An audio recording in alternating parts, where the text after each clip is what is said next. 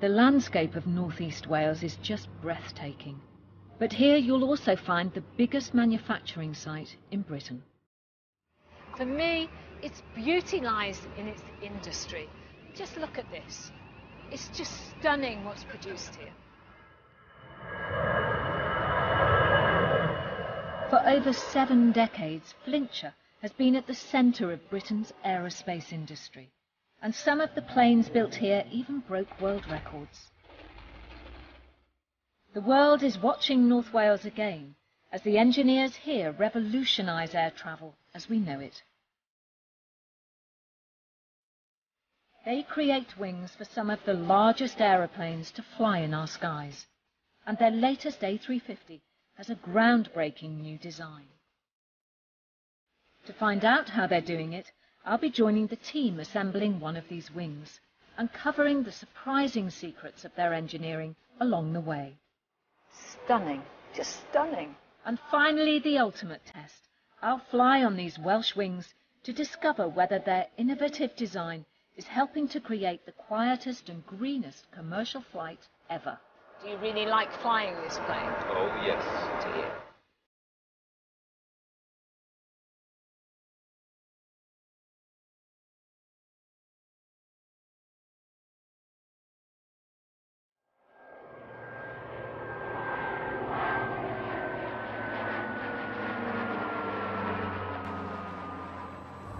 242, Charlie Victor, Hunter. Good morning again. Join crosswind and report left-hand downwind runway 22, the QNH and the QFE 1012. I love the North Wales coast. Just look at that view.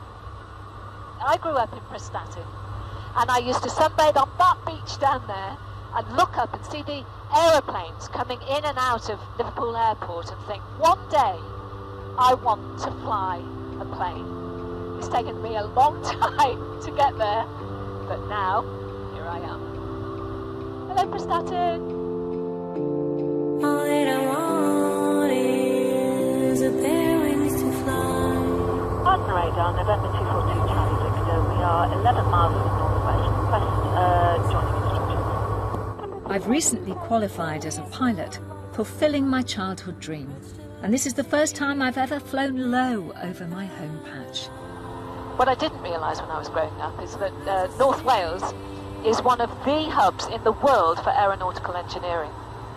And down there is where they build some of the best parts of aircraft in the world. Number 2 Charlie Victor, traffic of Cessna 172. Airbus Broughton is located on a massive 750 acre site in Flintshire. Here they build wings and then transport them on this extraordinary plane to the south of France. Everything they do is on a gigantic scale.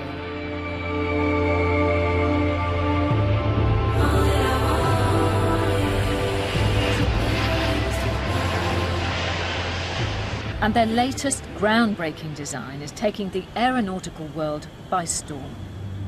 My little plane isn't as big, but she's just as loved. November 2 Charlie Victor, runway 22. I'm flying in to find out how these brand new wings are setting a new benchmark standard for fuel efficiency. You're parking on apron Bravo with the Beluga. So once runway vacated at Bravo, if you follow the marshal's instructions.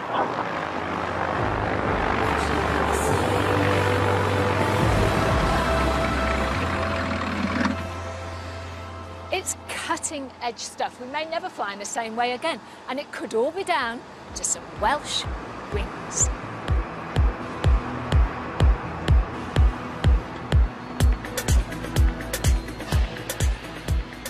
Broughton is famous for building wings. The wings of an aeroplane are critical to how the plane flies, its handling and its fuel efficiency. And this year they're celebrating 75 years since production first began on this site. Today they're supplying some of the most popular airlines in the world, and that keeps around 6,000 Welsh workers busy. And I get to join them. So you're the man in charge here. Yeah, it's good to see you here. Welcome to Broughton. This is where we build A350 wings. Uh, the A350 is one of the most advanced aircraft in the world. Uh, it's made of advanced materials. 70% of the product is advanced materials, and 53% of that is carbon fibre composite. Carbon fibre is a form of soft graphite, just like what's found in the centre of a pencil. It's mixed with plastic resin to make carbon fibre composite. It's tough, lightweight, but extremely flexible.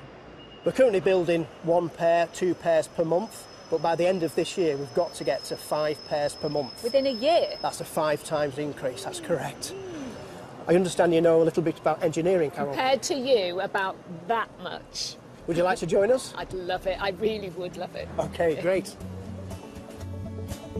The moment has come for me to get hands on experience in building one of these wings. This uniform reminds me of when I was a, a very junior engineer at the uh, Dinorwic Power Station in Snowdonia. And of course, we had the capped shoes or boots, the boiler suit or overalls, and the obligatory hard hat. Yes, sir. They call this the washing line, and you can see why. Except here, we don't have clothes hanging down. We have the skins or the covers of the wings. This is the top cover, and this one here is the much more curvy bottom skin. What's so remarkable about these is that they are the largest single pieces of carbon fibre composite ever made in the world. And that gives you some indication of just how revolutionary this place is. Good afternoon, Station 82. Uh, so to start with, uh, safety, okay, uh, no near misses, no accidents. Uh, It's the start of shift, and we're all lined up for the team briefing. Some of us will be uh, supporting MSN 25 removal from jig. Uh, any issues? Right, thank you very much, guys. Have a nice afternoon. Just take that with you. My first job is to move this two and a half ton carbon fibre top skin of the wing into the jig so we can work on it. To manoeuvre it around the factory, we're using a special vehicle known as the AGV. Hi, Carol. Hi, Your turn to Rusty. shine today. All right then. You're going to help us out? Yeah, Move this moving the, panel. moving the cover. Going to move the cover today? Is that for me? Yep. Hope it's the right size. I have got my certificate in Good. forklift truck driving. It's well, not quite the that's same. not going to help us today. So put this around my waist. this is the box. This is the dead arm box. What does that Colleague, mean? my colleague's going to be driving. What does a dead arm box mean? Whatever. If there's a problem and we're Yeah. swinging and we, Yeah.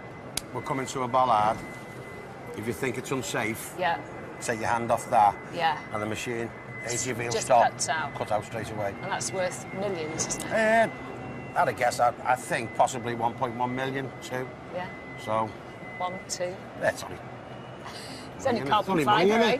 It's only money. So, Eddie, good to go. Right, I'm sticking with you, Russ. Yeah. This is brilliant. The way this And this moves. is stuff. It's fantastic. These wheels are incredible. I think it's roughly about £8,000 a wheel. Is it really? Yeah.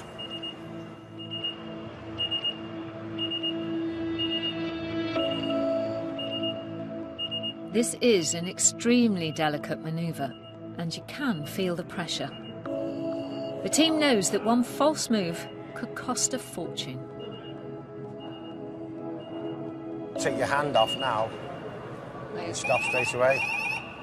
It's looking like possibly may have to move this Move this.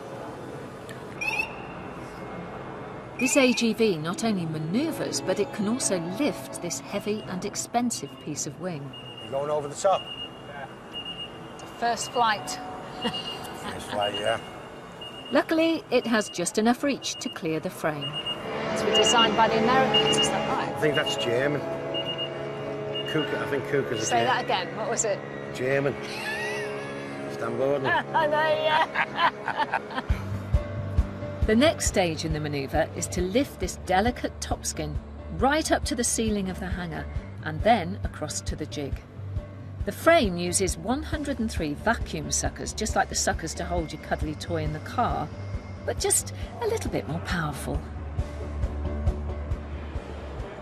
I feel as though I'm attached to this wing now, some kind of uh, ethereal way. Go on, Carol, give it a full whack. Of welly. Yeah, give it a bit Go, of welly. baby, go! Woo. She doesn't swing as fast then, No. does she? She's good.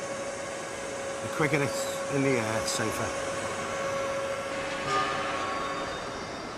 But she's safe, tidy She's up safe, there. she's not swinging, and she's happy to be drove in now with no problems. So I'm going to take it into the jig now, Yeah, go on. and then we're going to lock, lock it down. All right, I'll hold the Okay. paper. Thank you. While I leave Rossi with the tricky job of positioning the top skin, I'm going underneath to get my hands dirty and come face to face with those carbon fibre wings. All right, boss, what we're going to do? Basically, the machine comes in, drills all the level cover, but it can't get in this area because it clashes with the cantilever. The pressure is on me now to drill a perfect hole. The drill I'm using here is powerful, and to stop costly mistakes, it's completely automatic.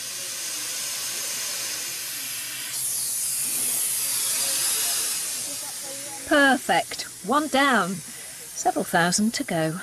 Although I've got a sneaky feeling that someone's drilled some already. That's it. Good hole. Thank you very much. Choosing carbon fibre composite over old fashioned aluminium has meant huge changes for the workers here. I mean, the thing is, for someone who's a passenger, what it's made of is so completely different, oh, isn't it? The kind of the cleverness is hidden think. almost. Yeah, From it's the so alien passenger's to eye. us, It's just metal. We've Yeah. worked with metal for so long, and now it's all of a sudden it's just a, it's a different. It's like it, NASA. it was like going It's from like the, NASA it's like going from the cave to NASA. it was. We were like, we were like cavemen. cavemen to astronauts in a week. So, yeah, it's, uh, Failure is not an option. Working with carbon fibre has completely changed how the wing can be shaped. The curve in this panel could mean cheaper fares for everyone, as it reduces fuel burn by 25%. To understand how, I'm going back to the basics of flight. It's the wing that gives us lift. Now, I'm going to show you just with a little drawing how it works. So I'm going to draw my wing here, and generally on a wing, the curvature on the top of the wing is greater than on the bottom, and there's a reason for that. So this is my airflow. So when a wing is moving through the air, you see that a dot on this bit of air coming over has to go all the way over the top of the wing. Similar dot just travels underneath, and then they meet up at the back, and then on they go. Now, the thing is, when this one going over the top of the wing travels, it has to go faster than the bit of air on the bottom. So what you get is you have high pressure on the bottom, low static pressure on the top, and the high pressure pushes the wing upwards, and that is the force that we call lift. Or, when you're looking at an aeroplane, I call it magic. It doesn't matter if it's a jumbo jet or a bumblebee, they each achieve lift in the same way. Now, if you don't believe me, you can do this at home. Get a bit of paper, okay, static pressure the same, the weight of the paper is hanging down. When I blow across the top, the pressure on the top will reduce and we will have lift. You see? But once in the air, the shape of the wing determines the way the aeroplane flies. The best way to demonstrate is with a bit of aeronautical origami. I think you're a bit of a neater folder than me. Uh, Oh, is that what it is? You're after speed. And as a former fighter aircraft designer, Roy Scott knows all about it. One of the main principles is, is the angle of the wing relative to the fuselage, Yep. the body. So, for example, here, what we're looking for is a very stable flight on a passenger uh, aircraft. What we do is slightly fold the wings upwards to give that upwards effect, and that's called a dihedral wing. Dihedral, that's- Dihedral effect. Uppy wings. Yeah. Yep. Uh, and the Harrier jump jet, for example, where we want an unstable aircraft because it can roll You fast. worked on that as well, That's correct, you? yes, down Yeah. in Farnborough. The wings are formed downwards in an anhedral effect. So if you look at fighter aircraft, you can see that. Yeah. Okay. So mine theoretically should go the furthest. And mine more should do the rolling and spinning and all of that. Okay. Three, two, one.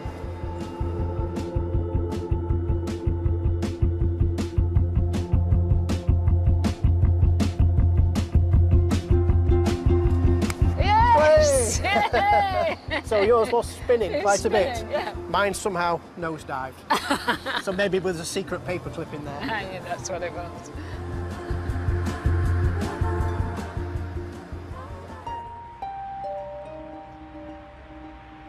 Airbus is one of the biggest employers in Wales. Building wings keeps a workforce of over 6,000 busy. There are currently only a few completed A350s in service. But the pressure is on to supply 780 pairs of wings on order to customers such as Qatar Airways. But this factory has a long history of working against the clock. This is a bomber factory in Britain. The workers have arranged with their management and their joint production committee to build a bomber in the record time of 30 hours. The clock This is Broughton back in 1943.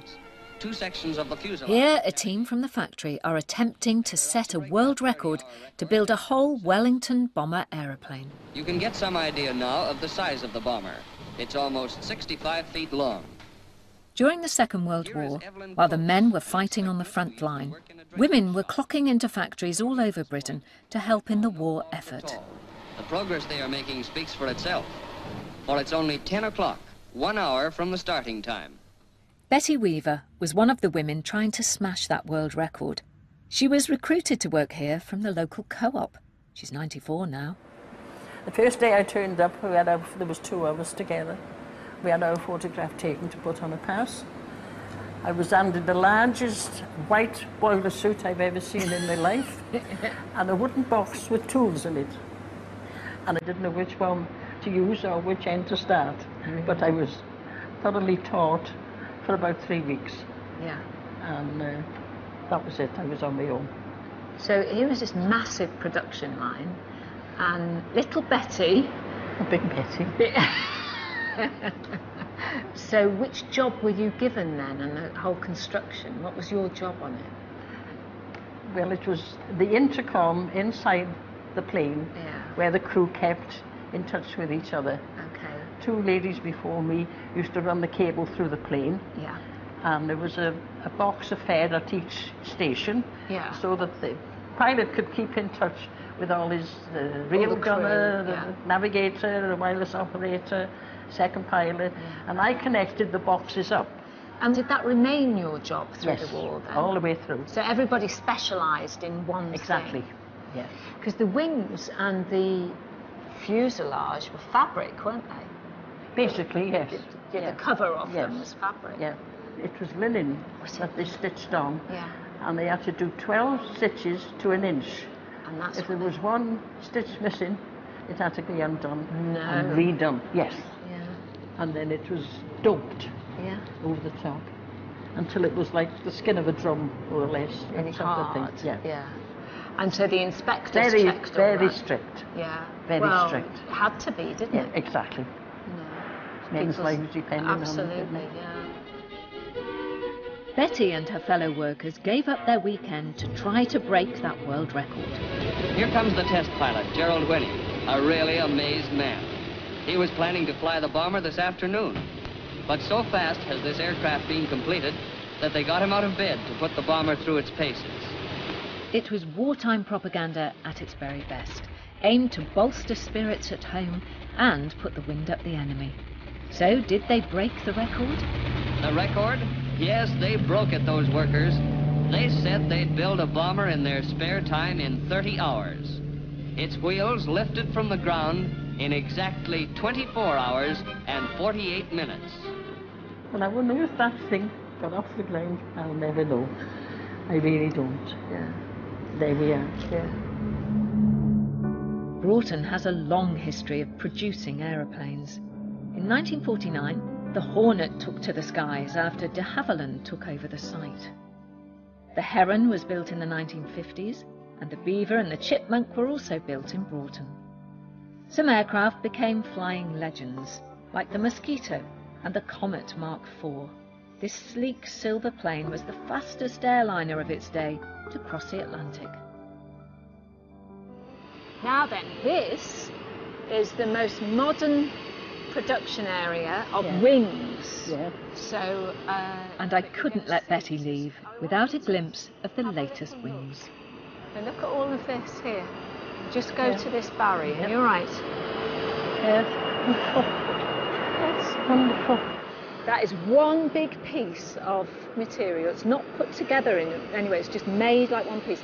And that is the bottom of a wing there. That's as big as a Wellington bomber would have been. Yeah, it almost. is. It is, yeah. Gee. But there's no one stitching fabric in here. But Thank goodness. Oh, what a job. Unbelievable. Can't help but be astonished by Betty's story. You can imagine all of those young girls and men learning these incredible new skills in this, you know, strange place, building bomber aircraft at a ridiculous rate. Quite incredible, but you know, we should all be thankful that they did do it.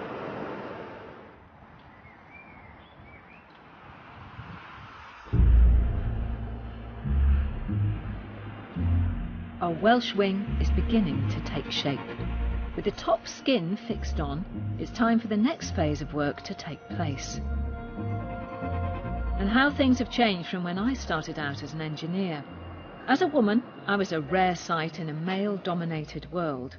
But here at Broughton, I've seen more women engineers at work than ever before. One of them is Bridie Welsh, and she's the expert when it comes to the skeleton of the wing. Underneath, what you've got here is your spar made of carbon fibre. And this goes the whole length of the wing. Whole length of the wing. Yeah, to provide stability. Exactly. Um, and then we've got our ribs in between. Yeah. So what's interesting about these is they're made from aluminium instead of carbon fibre because the loads, uh, the forces are quite complicated. Bridie and her team designed the complex internal structure of the wing. That's because these wings do more than just lift the plane off the ground. They're also the fuel tanks for the aircraft. Fuel tank starts right at the centre Yeah. uh, and moves out to around about rib 28. And how much fuel did the wings take? It's just under 100,000 litres. Is it really? Yeah. It's massive, isn't it? It's a lot of fuel. Yeah. And when the bottom is on, the fuel is actually touching up against yeah. this, isn't it? Against this aluminium. So how does that operate? Do you have fuel pumps that take it through? What we have is baffles. They're um, holes within the ribs which allow the fuel to move throughout the rib base. Without it just being one great big slosh, I Yeah. suppose. Yeah. right? So, you know, when you go out on the town, do you go into Chester? I do. Okay. Um, and, and the lads chatting you up, beautiful young girl, and they're going, what do you do? When you say I'm an engineer, what do they say? I do get a bit of a shock, yeah. I'm not surprised. Older commercial aircraft have up to eight fuel tanks. The A350 only has three. One tank is under the main body of the aircraft, while the other two are in the wings. Between them, they hold enough fuel to fly from London to New York and back again. Oh. Just coming up through an inspection hatch. I'm inside the wing now. The, the big end, if you like, of the fuel tank. Lots and lots of ribs uh, going, stretching a long way in that direction. Yeah, it's remarkable to think that this will be sealed and the fuel inside here will go through the pumps and so on into the engine, and no one will ever come into here again. So many people working on this. Hello?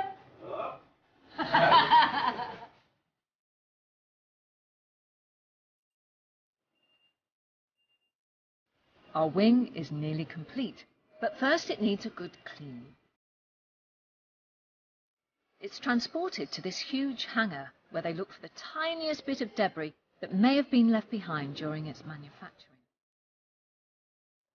I'm meeting local woman Beth Pickering, who's one of the youngest managers on the site. So, Beth, there are these FOD signs everywhere, foreign object debris. So, none of it's allowed through So, there. Nothing is allowed into there that isn't already accounted for on our sheets. So I'm going to have to ask you to empty your pockets of any personal belongings, Okay. Keys, phones, and put them all into this locker here. So anything that we don't So, anyone's need, working in this area, they've got to get rid Yeah. of all this stuff. Yeah, so anything that we don't need on the aircraft, we decant into what we call our FOD lockers. Yeah. Um, any tooling that is needed, we account for on the sheet, so it's signed in and it's signed back out, and this ensures the security Brilliant. of the week. Okay, am I allowed to go in like yes. Now, so now we can walk into the FOD area.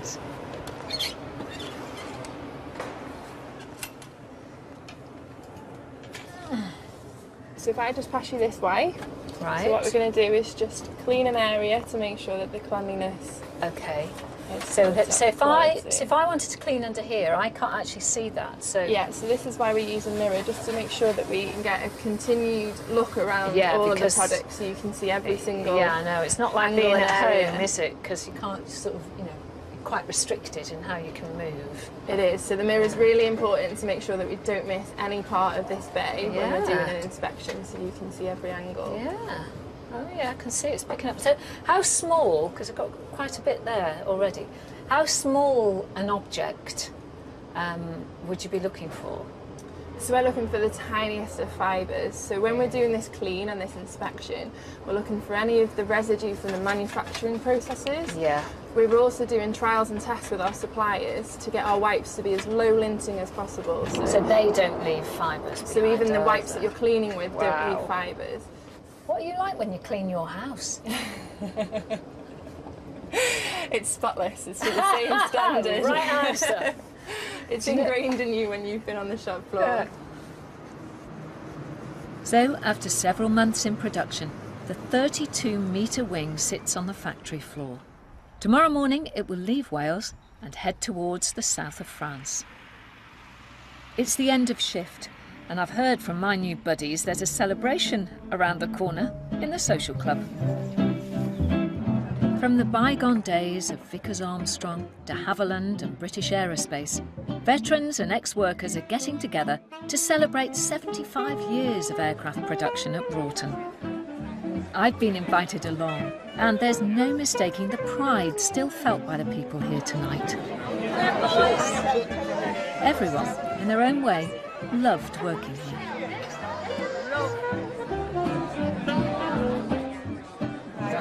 We were workers, and it was, we were like a big family.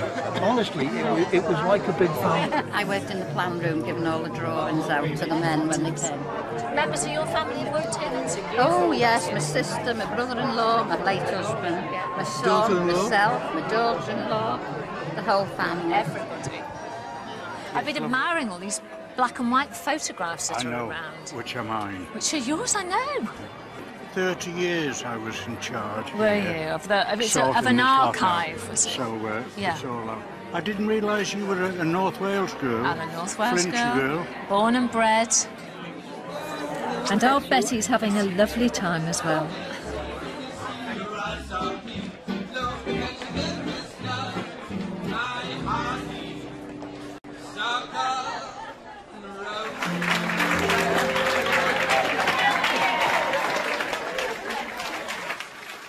An absolutely beautiful evening, but it's time to go to bed. I've got work again tomorrow. This site never rests.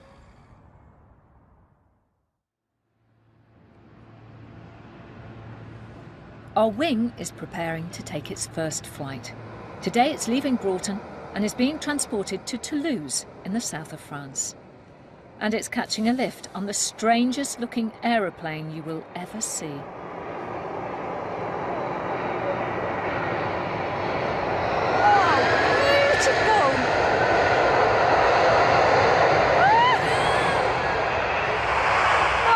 Oh! This is called a beluga because it's shaped like a whale, a beluga whale. Look at that high forehead. It's like a normal aircraft with this huge bit attached to it. It's absolutely stunning. The country's got five of them and it's used to transport various pieces of a new aeroplane to Toulouse where they assemble all the wings and the fuselage and everything all goes to Toulouse. But just that, it's extraordinary. Oh, what a privilege!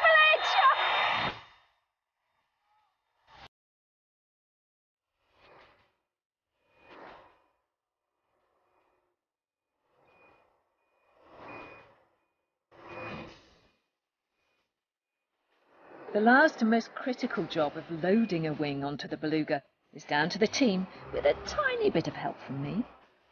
Are you ready, boys? We're going forward. Keep that on firmly, unless I shout stop, just let it go. 'cause It might have a fault in the aircraft. You spelt forward wrong.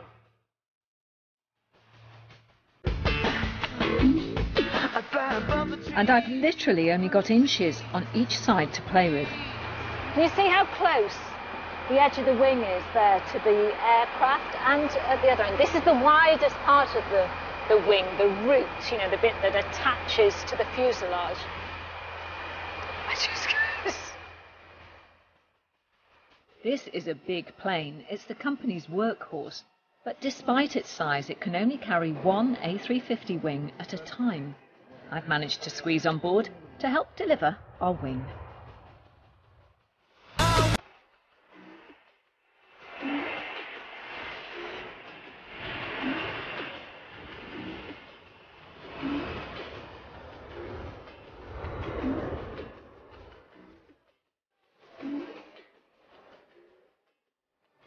After a two-hour flight, the Beluga touches down in Toulouse in the south of France. It's here that Airbus receives thousands of parts from suppliers in Spain and Germany, and the construction of the aeroplane begins, just like a massive Meccano set. Our wing is now carefully unloaded and transported ready to be attached to the fuselage of the A350.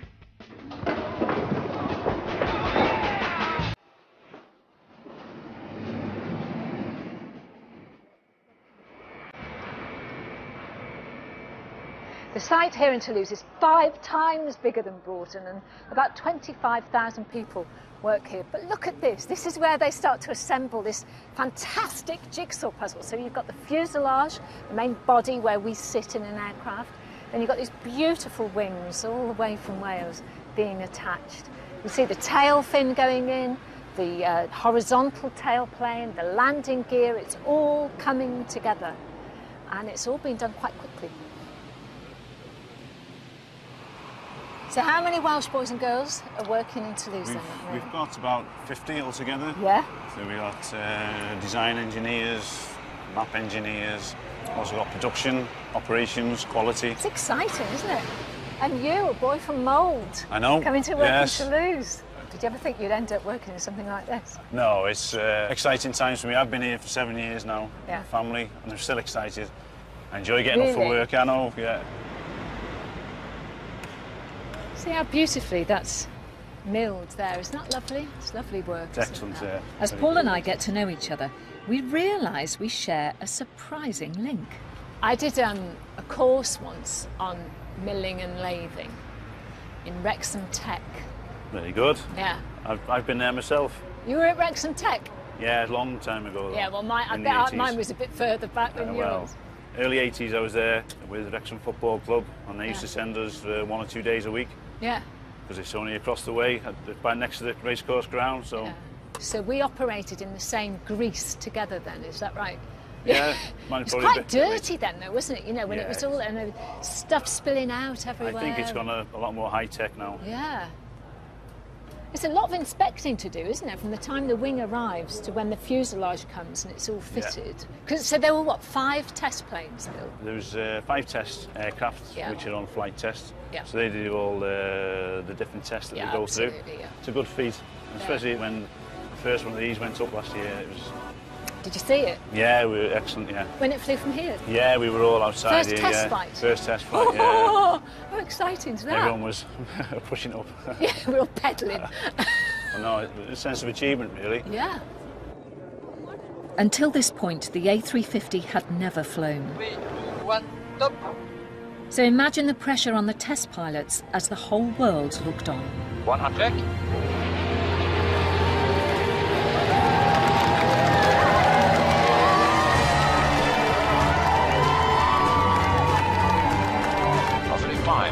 5. Stays down.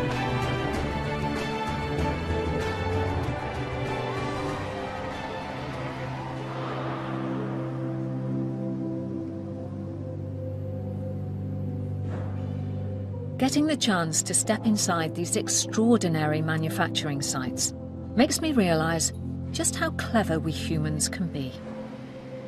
I've been told when the paperwork accompanying the aircraft is as heavy as the plane itself, they've got things right. So, when we jump onto an aeroplane to go on our holidays, most of us just take the whole thing for granted. This is my, uh, my first look inside the fuselage. Oh, wow. That is stunning. I've never seen anything like this before. I mean, you can see the insulation, all the different coloured insulation. That's to keep us warm as passengers and to stop the noise from coming in as well. And then all the seats go in here. You can see some of the tracks already laid down.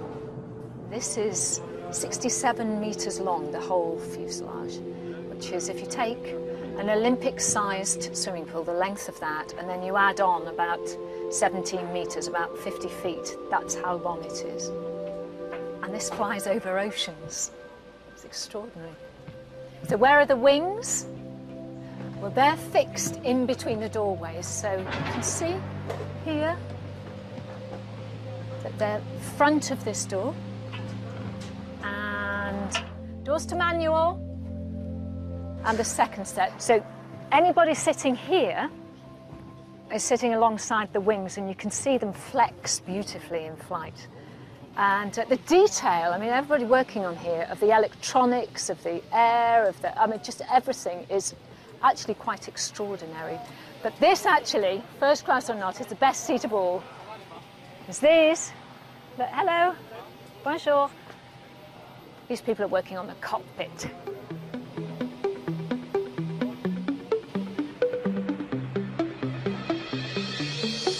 Finally, our second wing has arrived from Wales and is being attached to the fuselage. To finish it off, there are a couple of very important pieces of French finesse to be added.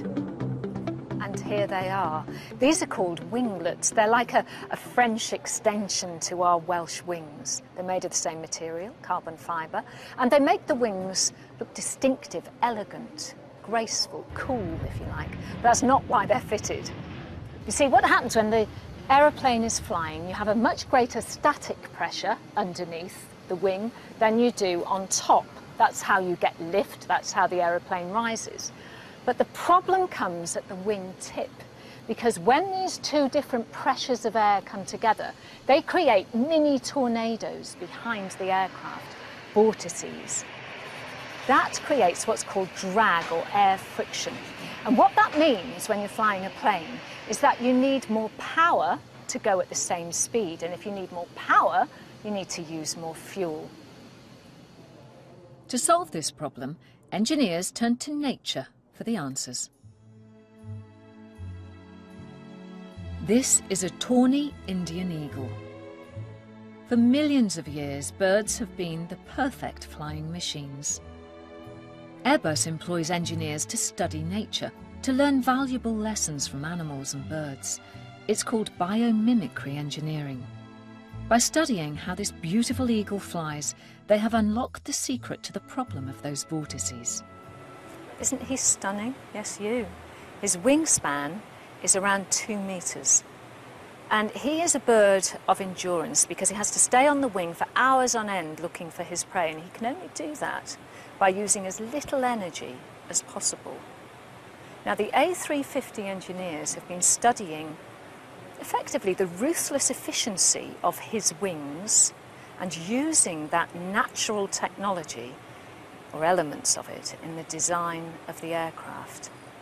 So we're going to use, yes we are, and you're going to behave, a slow motion camera to record him flying and then play it back to you and you can see exactly what happens.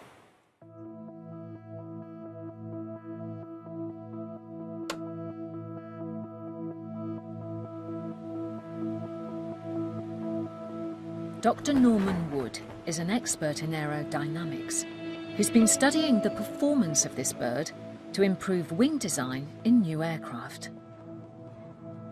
It's magnificent. Beautiful bird, isn't it?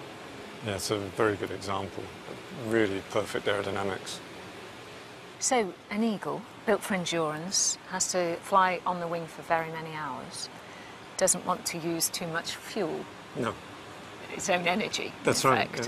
And it's Yeah. exactly the same principle that's replicated with the wings of the A350. That's, yes, well, uh, Light with a composite. it- it's the very light wing. It means we can adopt some new strategies because we're now using the carbon fibre. Yeah. Um, and we couple that with this more detailed understanding of the, the specifics of the wing shape to, to get the minimum drag we can. What the Eagle has managed to achieve is the perfect match between a very light, efficient structure Yeah. and a very efficient aerodynamic shape with the tips slightly turned up to reduce drag. Just as the A350 has the winglets. Just, just as we've done on the 350. Yeah. And you can see the similarities straight away when you see the shots of the, the eagle as it comes towards us, how it mimics, well, no, we're mimicking its shape. Absolutely, yes. Um, it's not mimicking the A350. It got it right several thousand years ago. It's still with us, so it must be right. It must be right. And as we've evolved over 40 years of Airbus wings, you can see innovations coming in, not, not just in the way we've adapted the shape, but going beyond that to see how the bird actually controls that shape, how it controls itself in flight. Uh, and we're now adapting those things into the wings on the 350 as well, so it reacts to its environment. Maybe not quite as effectively as the Eagle, but we're getting there. And when he's coming into land, flaps down. Flaps down, wheels out, Wheels out, gear down. eyes on the target. There's a good boy. There's a good boy. The new design of the A350 wing reduces fuel burn by 25%. And over half of that saving is by adding these small yet ingenious winglet devices. It has a huge impact on the environment, a greener and more efficient flight, thanks to the Eagle.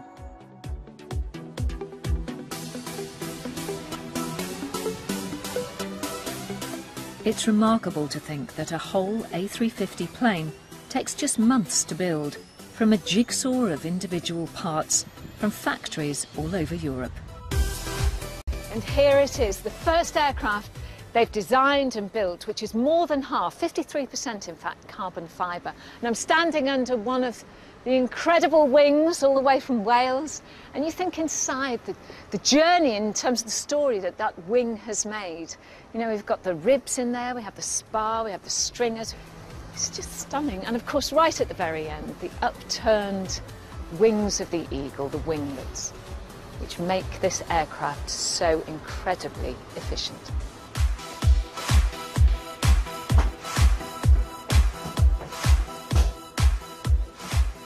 One of the best things of all for me is that I get to be one of the very first passengers on board the prototype. This is one of the five A350 test planes to be built, and it's still being used by engineers to test the aircraft to its limits. And where better to go than straight to where I feel at home, the cockpit. Peter Chandler is the chief test pilot at Airbus. He was the brave man who took the very first A350 to the skies in 2014. Some impressive displays here, Peter. What are you testing in that first test flight? That, that first test flight, uh, in fact the first two flights, we were what we call opening the flight envelope. So the normal flight envelope, that's the from the low speed to the high speed and from low altitude up to high altitude. Just checking the handling of the airplane so that we could actually identify the, the natural characteristics of the airplane. What element of uh, the wings has made the most significant difference, do you think, to the A350? I mean, the design of the wing is state of the art in terms of the aerodynamics, and the fact that we have the ability just to very slightly extend flaps during cruise, so it's uh, it's basically changing very slightly the camber of the wing, only by maybe uh, one one or two degrees extension of the, uh, the flaps. And this is interesting because the control column is over to, well, to the right here, to the left, Yes. if you're yeah. the captain. Yes, since the mid 80s with the A320, we've had these side sticks as the, uh, the, the means of controlling the airplane. Do you like flying with them? I, I, I find it very comfortable and it just cleans up the cockpit so much. You've got a nice clear view. Um, and of course, the other advantage of having the side stick, if I could just show you, is Yes. that uh, it allows us to Ah. have a, a table which has two, two modes. We have a keyboard in there, which is the interface which we can use for, for example, typing requests for weather. And perhaps the more important setting is that which allows you to eat very, very comfortably, which is a, a major concern for all airline pilots. Ladies and gentlemen, in preparation for takeoff, please fold away your table. Ensure your seat back is in the upright position. Thanks a lot for your attention. We're taxiing out to the runway now, and The pilot, the captain, has changed the curvature of the wing. So he's put the slats at the front down slightly, the flaps at the back down slightly, and that means that we can take off at a much lower ground speed than we would without this happening. And that's because it provides greater lift at a slower speed. So now, oh, here we go. Off we go, full throttle. Needs to get to what's called the speed of rotation so that he can pull back on the stick. The wings will lift us into the air. It's going to be beautiful. A350, Welsh wings.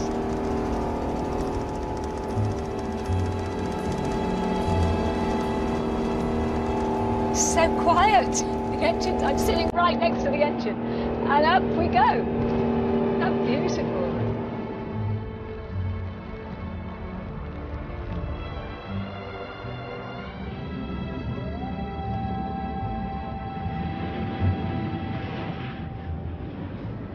Quiet inside. I've got my decibel counter here. It's showing around about 75, 76 decibels, which is, well, if you consider that a normal conversation is around about 70 decibels, that's not bad. But the beauty of the two engines here and the whole configuration of the aircraft is what's called the noise footprint outside. So, you know, when you're sitting at home you live near an airport, how noisy is the aircraft when it's taking off, particularly when it's at full throttle? And generally, with this aircraft, it's so quiet that the noise footprint is held within the boundary of the airfield, which is astonishing. I'm not in the cockpit. I'm in Yeah. front of a, what we call the flight engineer station. Uh, from that station, my job is to conduct the test. So, of course, I'm not able to handle the aircraft because I have no stick, I have no thrust levers. Yeah. What kind of things would you be telling the pilots to do? So the, the first test we have to do in the, the, the first month after the first flight is to do uh, what we call stalls. We have to stall the aircraft, which may, which means that we have to bring the aircraft to a given point where it does not fly anymore. Okay. So the that isn't so a lot of people, when they hear stall, they think of their engine in their car stalling. It's Yeah. nothing to do with the No. engines. This is all to do with the wings. Exactly. Yes. Finding the aerodynamic stalling point is one of the most important safety characteristics of any aircraft. It's something every pilot has to learn to recover from, but thankfully, Stefan isn't going to be doing it today. Setting the VORs and yeah. Like the needles, it's much more difficult. Than Yes, absolutely. Do you really like flying this plane? Oh yes. Do you? It's a very beautiful plane and it handles very well. So uh, uh, all the pilots are delighted to fly it. Yes.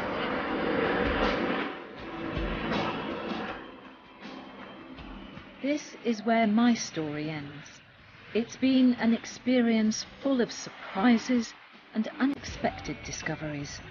But my full appreciation of how much goes into building an aircraft has only just begun.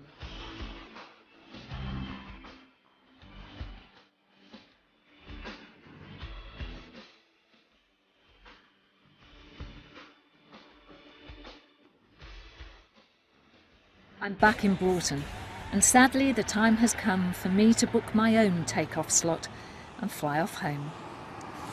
This airfield has been at the cutting edge of aeronautical engineering for 75 years, and it had a golden age back in the 1940s. But it seems to me as though it's now within a new golden era. It really is at the forefront of aircraft design on a global scale, and it's fantastic because it's where I grew up, in Flintshire, in North Wales.